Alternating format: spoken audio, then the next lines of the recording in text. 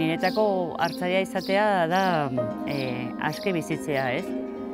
Lo que me aporta vivir en el mundo rural es la conexión con la naturaleza, el poder disfrutar de ella.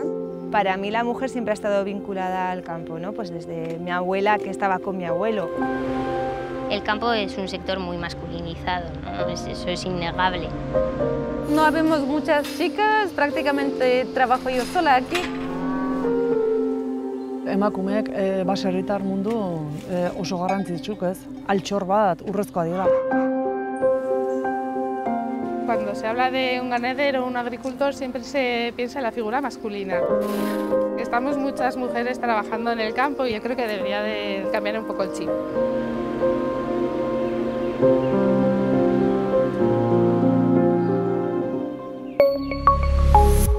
Gobierno de Navarra. Nafarroako gobernua.